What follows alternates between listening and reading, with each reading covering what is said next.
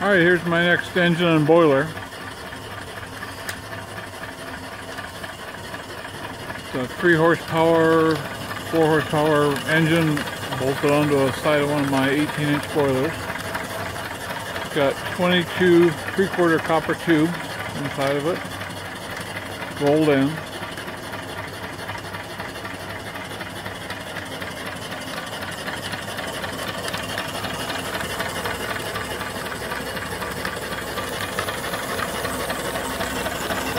Is right here.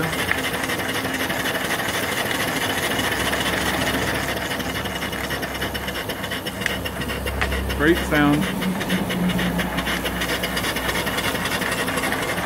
This is an antique oiler.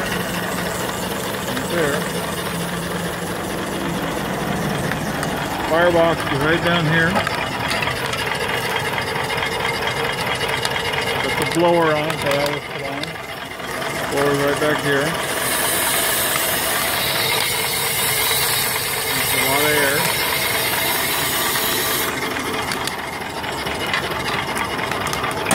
The exhaust for the engine goes up the stack.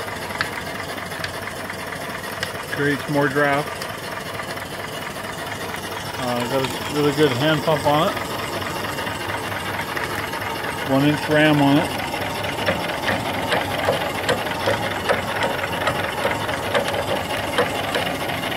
This is the airlock valve. In case there's an airlock in the pump. Open that up until you got water coming out of it.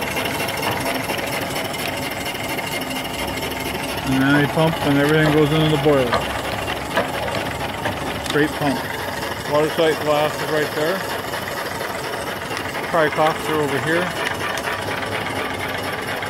And the whistle. Turn down your volume. A little loud. Beautiful. A really nice steam gauge on it. Flyball governor.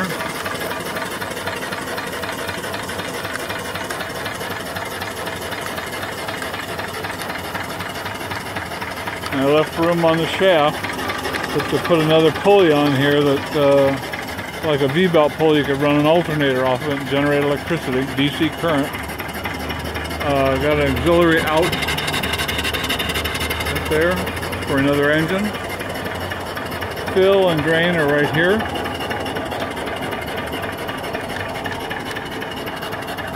Uh, new firebox uh, ash pan on this on this model. It's got a stepped uh, base on it with an ash pan right in here and draft door. Looks real good. So I build the entire engine. Uh, the height of the boiler to the top of the stack is 80 inches. 24 inch base.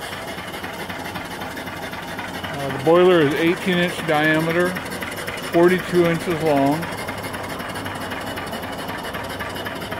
And it's got 22 copper tubes rolled in.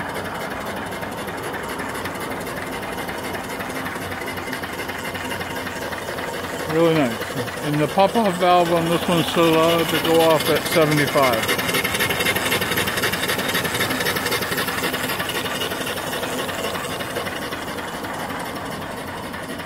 That's about it.